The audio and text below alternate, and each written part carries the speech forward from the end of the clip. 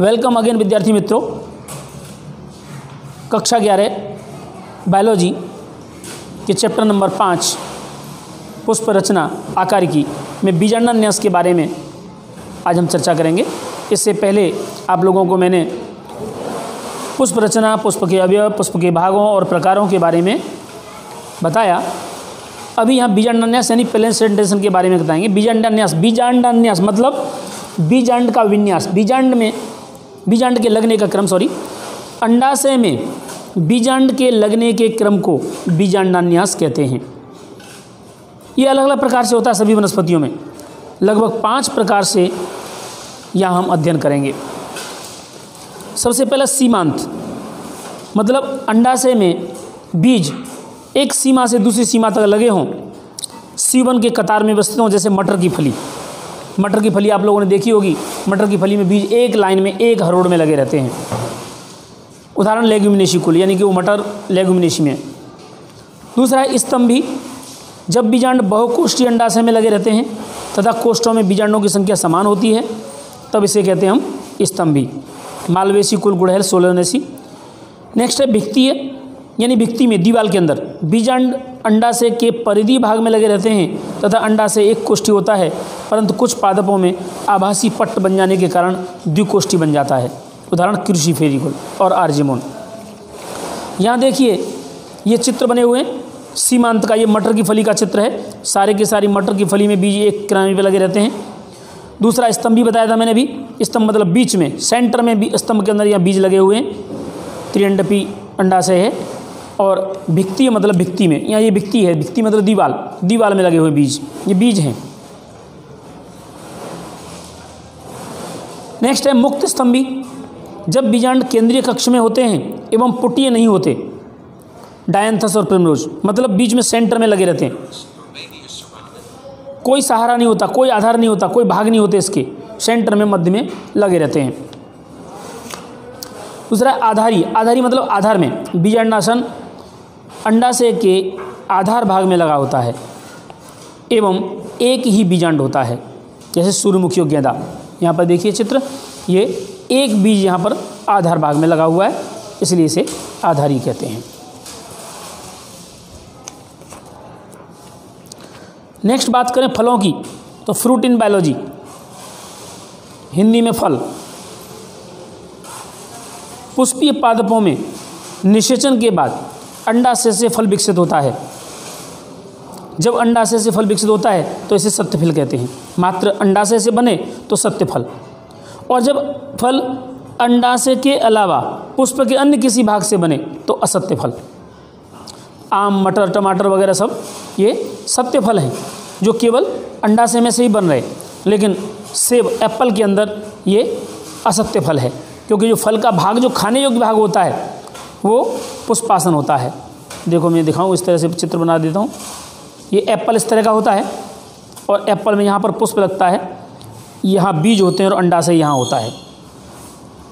ये पूरा का पूरा पुष्पासन है। ये पुष्पासन। पुष्पासन खाने योग्य होता है और अंडाशय खाने योग्य नहीं होता। अंडाशय फल में नहीं बदलता। फल किसमें बदलता है? पुष्पासन। इसलिए एप्पल में ये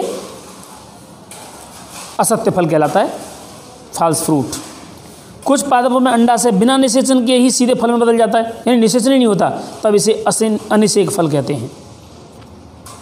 इसकी डेफिनेशन है, बिना निषेचन के फल बन जाए।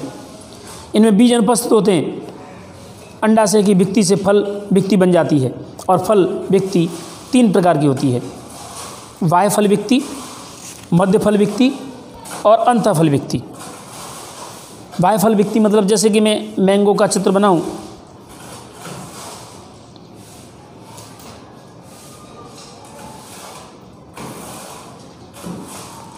तो मैंगो में अंदर एक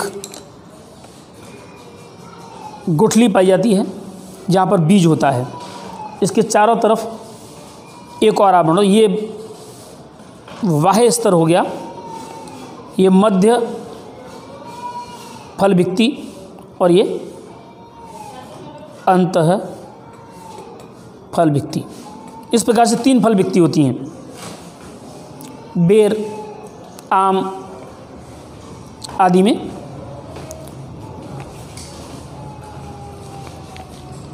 यहाँ पर पतला, मोटा, चर्मिल छिलका बनाती है बाह्यफल व्यक्ति गूदेदार, रसदार मध्यफल व्यक्ति आम और खजूर में देखा होगा। और कुछ पादपों में नारियल में मध्य फल व्यक्ति रेशेदार होती है और अंतफल व्यक्ति कठोर होती है। नारियल के अंदर जो गरी पाई जाती है, उसके चारों तरफ़ एक कड़क आवरण पाया जाता है, वो अंतफल व्यक्ति है। मध्यफल व्यक्ति इसकी रेशेदार, जो बाहर नारियल, कच्चा नारियल काटते हैं, ऊपर से साफ़ करना पड़ता है, वो मध्य फल व्यक्ति। अंतफल व्यक्ति, कुछ फलों में अंतफल व्यक्ति कठोर होती है, जैसे कि नारियल। जबकि कुछ पौधों में यह पतली एवं झिल्ली समान होती है, जैसे नींबू में और संतरा में तो ये तीन प्रकार की फल व्यक्ति यहाँ पर आई होती हैं। इसके बाद में बीज। बीज क्या है? बीजांड। जब निषेचन होता है, निषेचन के बाद जो बीजांड होता है, बीजांड बीज में बदल जाता है। बीजांड, बीज में तीन भाग होते हैं, एक बीजावरण जो बाहरी आवरण है, जो यहाँ पर मैं दिखा रहा हूँ रेड कलर से, बीज आवरण भी दो होते हैं टेक्स्टा और टैगमन। बाहरी आवरण और अंतावरण दो होते हैं। बाहरी आवरण अंतावरण टेस्टा और टैगमन। टेस्टा मोटा चर्मी होता है, टैगमन पतला पारदर्शी होता है। बाकी के भाग को भ्रूण कहते हैं।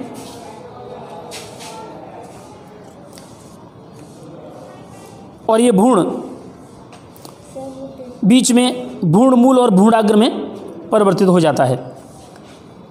भ्रूण मूलांकुर से उत्पन्न होता है।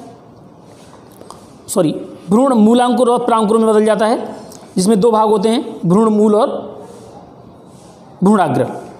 भ्रूण पोष भ्रूण को पोषण देता है और बीज पत्र भोजन संचय करते हैं। अगर भ्रूण पोष बीज पत्र में समाया हो तो अभ्रूणपोषी बीज, और अगर मुक्त हो तो भ्रूणपोषी बीज। ये देखो बीज की रचना है। घर पर आप लोग चने को भिगोकर उसको छिलके को उतार कर देख सकते हैं। तो उसका आवरण तुमको अलग दिखाई देगा, और बीच में लगा हुआ भूण दिखाई देगा। भूण में भूणाग्र होगा और भूण मूल होगा। यहाँ पर रेडिकल है, यहाँ पर प्लूमूल है। बीज आवरण, बीज के आवरण को बीजावरण कहते हैं। ये टेस्ट और टैगमन जो मैंने अभी बताया, वो दो आवरण होते हैं, मोटा और एक पतला। दूसरा, नाभिका। नाभिका मतलब सेंटर का भाग। बीज के सिरे पर एक चिन्ह की तरह रचना दिखाई देती है, जिसे नाभिक कहते हैं। नाभिक बीज को फल से जोड़े रखती है, जरायु द्वारा। जैसे मटर की फली को अपने साफ़ करते हैं तो मटर का दाना उसके साथ जुड़ा रहता है। अलग नहीं होता। उसे हटाना पड़ता है। जिस रचना से वो जुड़ा रहता है, उसे नाभिका कहते हैं। बीजांड द्वार नाभिका के ऊपर, जो बीजांड द्वार होता है, बीज में अंदर छिद्र होता है, वो नाभिका के ऊपर छिद्रनुमा रचना को बीजांड द्वार कहते हैं। बीज पत्र बीज आवरण को हटाने पर द्विजपत्री बीजों में जो गूदेदार बीज पत्र पाए जाते हैं, जिनमें भोजन का संचय होता है। भ्रूण, दोनों बीज पत्रों के बीज भ्रूण स्थित होते हैं। दोनों बीज पत्रों के बीच, बीज नहीं, बीच, ये गलत लिखा है। भ्रूण स्थित होता है। भ्रूण में भ्रूणी अक्ष के ऊपरी पत्ती रचना को प्रांकुर कहते हैं तथा भ्रूणी अक्ष के निचली रचना को मूलांकुर कहते हैं। जैसा कि मैंने अभी चित्र में दिखाया आप लोगों को, ये यहाँ पर ये भ्रूणाग्र और भ्रूणमूल। ये प्रारंभ, प्रांकुर और ये मूलांकुर। ये प्ररोह बनाएगा, ये मूल तंत्र बनाएगा भ्रूणपोष द्विबीजपत्री बीजों में भ्रूणपोष पतला और अनुपस्थित होता है। यानी समा जाता है बीज पत्रों के अंदर, इसलिए उसे अभ्रूणपोषी बीज कहते हैं। मटर, चना, सेम वगैरह में। अगर मट मक्के के बीज की बात करें तो मक्के के बीज में यहाँ पर ये वाह्य आवरण है। इसे तुस कहते हैं। बीच में यह एंडोस्पर्म होता है, स्टार्च का बना होता है। ये अनुप्रस्थ रचना है। यहाँ पर ये पूरा प्रदेश भ्रूण प्रदेश है। ये जो पूरा प्रदेश है, भ्रूण प्रदेश है, इसमें भ्रूण पाया जाता है। यहाँ पर भ्रूण होगा, यहाँ ये भ्रूणाग्र भ्रूणाग्र चोल भूण के ऊपर होता है। भ्रूणाग्र चोल और ये भ्रूण मूल चोल। इस तरह से इसकी मक्के के बीज की रचना है। अगर बीजावरण के अंदर, बीजावरण में कौन कौन से भाग होते हैं की बात करें तो बीजावरण, बीज के आवरण को बीजावरण कहते हैं। बाहरी स्तर टेस्ट और अंदर टैगमन मीवे ने बताया। इसमें सतह होती है एलुरन लेयर। भ्रूण पोष के चारों ओर उपस्थित परत को एलुरन लेयर कहते हैं। ये देखो, ये एलुरन लेयर है। ये प्रोटीन परत एलुरन प्रोटीन की बनी एल्यूरोन। दूसरा भाग होता है भ्रूणपोष का, जो मैंने अभी बताया, उसमें भ्रूणपोष में स्टार्च के रूप में भ्रूणपोष आया होता है। बीज का अधिकांश भाग भ्रूणपोष होता है, यह स्थूलीय होता है और भोजन संचय करता है। भ्रूण की बात करें तो भ्रूण प्रदेश अलग ही होता है। भ्रूणपोष के नीचे खांच में भ्रूण स्थित होता है। भ्रूण के ऊपरी भाग को मूलांकुर, प्रांकुर कहते हैं और नीचे के भाग को मूलांकुर कहते हैं। भ्रूण के निचले भाग को मूलांकुर, दो भाग होते हैं। मूलांकुर विकास करता है, उदाहरण मक्का, बाजरा, गेहूँ इत्यादि। पुष्प सूत्र लिखने के नियम।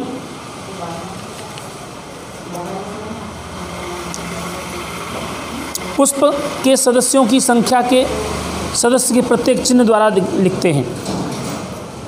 यानी कि हम पुष्प लें और पुष्प के अंदर उसे सूत्र के रूप में बनाएँ शॉर्ट में। तो सदस्य संघ असंख्य हों तो उसे अनंत कहते हैं। अनंत यानी इन्फिनिटी इस तरह से। अगर मान लो पुंग के सर अनंत हैं तो ऐसे चिन्ह लगा देंगे, जैसे यहाँ पर दिखा देते हैं। अगर पुष्प त्रिज्या समिति है तो ये चिन्ह बनाएँगे। एक व्यास समिति में इस तरह का चिन्ह बनाएँगे। सहपत्र, अगर पुष्प सहपत्री है तो बी आर लिखेंगे। अगर कैलेक्स यानी कि दलपत्र को डिनोट करना है तो के से। अगर के चार है, पाँच है तो इस तरह से के फाइव। और संयुक्त तो ऐसे। अगर के अनंत हैं तो इन्फिनिट का चिन्ह लगा देंगे, के अनंत हो जाएगा। इसी तरह कोरोला में सी फाइव यानी अगर कोरोला पाँच हैं तो ऐसे लिख देंगे। और अगर अनंत हैं तो इनके अंदर भी हम के इन्फिनिट लिख देंगे। नहीं है तो ज़ीरो कर देंगे। परिदल, यानी कि कलेक्स और करोला दोनों संयुक्त रूप से हों तो इसे हम पी लिखते हैं पर्यंत के रूप में। पुमंग को हम एंड्रोएशियम ए से लिखते हैं। अगर ए बिल्कुल नहीं है तो ए ज़ीरो, अगर ए पाँच हैं तो पाँच, दस हैं तो दस। और अगर इन्फिनिट हैं तो इन्फिनिट को इस तरह से लिख देते हैं। इसी प्रकार से सेम जाएंग में। जाएंग को जी से डिनोट करते हैं। जी के नीचे अंडरलाइन कर दें मतलब ऊर्ध्वस्त ऊपर अंडरलाइन कर दें मतलब अधस्थ। और जी ज़ीरो कर दें मतलब पुष्प में गायनेशियम नहीं है। अगर पुष्प नर है तो उसको इस चिन्ह से दिखाते हैं। और अगर पुष्प मादा है तो इस तरह के चिन्ह से दिखाते हैं। अगर वो उभयलिंगी है, नर मादा दोनों हैं तो दोनों को साथ में जोड़ करके दिखाते हैं। किसी चक्र के सदस्य को दो घेरे में हो तो बीच में प्लस का चिन्ह लगा देते हैं। यानी पुंग के साथ दो घेरे में हो तो सी प्लस सी कर देते हैं। या सी के अंदर फाइव प्लस फाइव, सी के अंदर थ्री प्लस थ्री, इस तरह से लिख देते हैं। सदस्य आपस में जुड़े हों तो संख्या को काउंस में दिखाते हैं। यदि किसी चक्र के सदस्य, अन्य चक्र के सदस्य जुड़े हों तो उनके ऊपर एक रेखा करके दिखा देते हैं। इस तरह का टॉप रेखा दिखा देते हैं। जायंग के उर्वरती होने पर जी के ऊपर या नीचे रेखा खींच देते हैं। जैसे मैं यहाँ एक सूत्र लिख के दिखाता हूँ। ये सूत्र तुम लोगों को पुष्प सूत्र के रूप में दिखाई देगा और इसको समझाएगा। जैसे यहाँ पर मैं लिखूँ, इस तरह का चित्र बना दिया, यानी कि पुष्प कैसा है? और संरचना वाला। अगर पुष्प को मैंने ऐसे चित्र बना दिया तो कैसा हो गया? उभयलिंगी अगर यहाँ पर बी आर लिख दिया तो ब्रेक्टेड और के टू प्लस टू यानी दो चक्कर में लगे हैं के कलेक्स और C four A two plus four यानी दो प्लस चार, दो चक्र में। और जी दो ऊर्ध्वस्त ये सरसों का